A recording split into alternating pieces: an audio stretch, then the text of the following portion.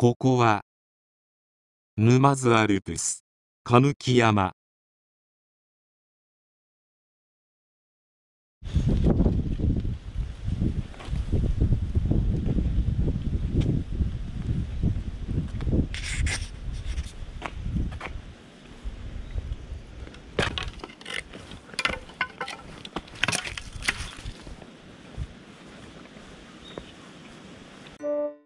山の管理用道路を歩いていると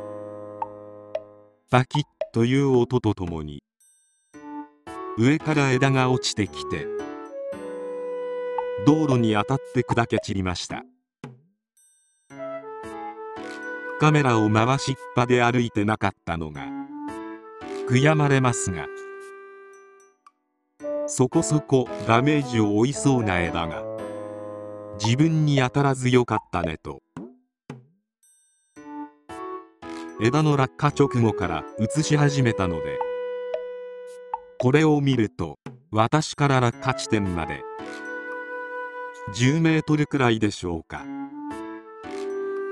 78秒の差で負傷していたかもしれません。落石が珍しくない。ワイルドな山なので崖下の際を歩かないのは沼津市民の常識ですが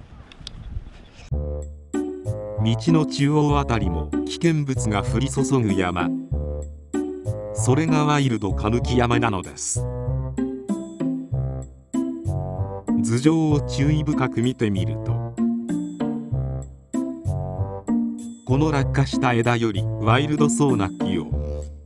見つけることができるでしょう。